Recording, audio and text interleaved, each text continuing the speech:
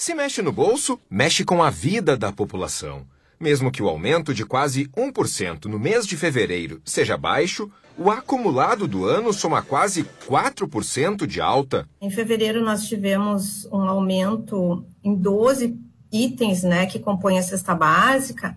Ainda que tenha registrado uma alta, quando a gente olha com mais atenção em relação aos dois meses anteriores, houve uma desaceleração. Leite e banana aparecem entre os alimentos mais caros da lista. A refeição mais tradicional no nosso país também está custando mais em Porto Alegre. Nós temos aí uma pressão forte né, no, no prato típico brasileiro, né, no feijão e arroz.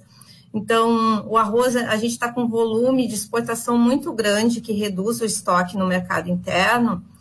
E o feijão, é, além da redução da área plantada, nós também tivemos quebra de safra e clima ruim. Então, trouxe esse aumento né, no varejo. Com a elevação, os itens essenciais da cesta básica passaram a custar R$ 796,81 na capital gaúcha. Para ter acesso a esses alimentos, o salário mínimo deveria ser quase cinco vezes maior do que o atual que é de R$ 1.412.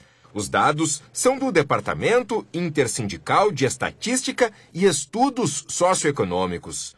O DIEESE ainda coloca a capital gaúcha como a terceira cidade com a cesta básica mais cara do país.